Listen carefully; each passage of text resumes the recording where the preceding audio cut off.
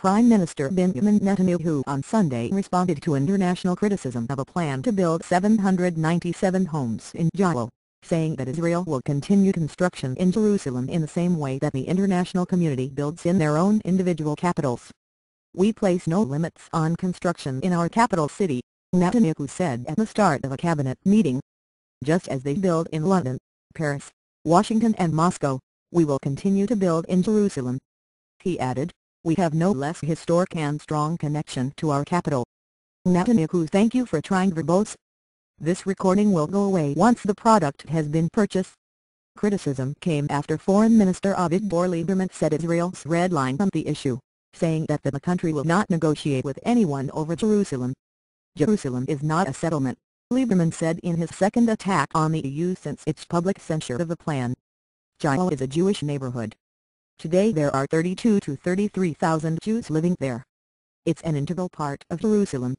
An Interior Ministry Regional Planning Committee gave initial approval to the project in June and completed the planning process on Thursday, according to Hagit Ofran of Peace Now.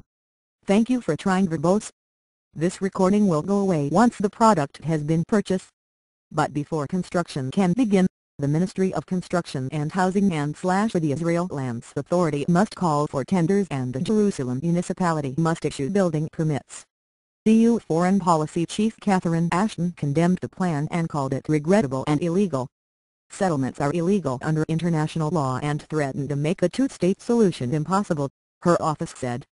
The EU has repeatedly urged the government of Israel to immediately end all settlement activities in the West Bank, including in East Jerusalem, in line with its obligations under the roadmap. Thank you for trying verbose. This recording will go away once the product has been purchased. Lieberman encouraged European officials to focus on their internal issues, including ongoing strife in Brussels and Cyprus. He also invited them to visit Gilo to gain a better understanding of the neighborhood's relation to Israel's capital. Gilo is a seven-minute walk from the city center, he said. Its population is homogeneously Jewish. He added, every Israeli government has built there, starting with former Prime Minister Levi Eshkol and former Prime Minister Golda Meir.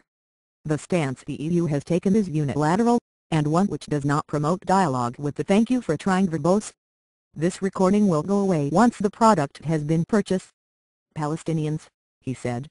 It is an anti-Israel position. Gilo, which is located over the Green Line, is one of the five ring neighborhoods in the capital that were developed immediately after the Six-Day War.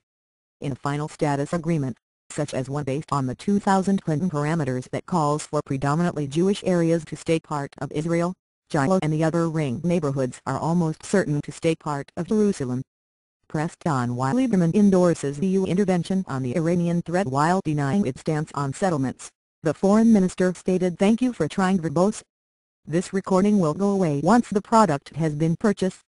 That the European sanctions against Iran are in itself embarrassed. The EU is not working for us. They're working for them, he said. The sanctions they're imposing on Iran are not for Israel's sake.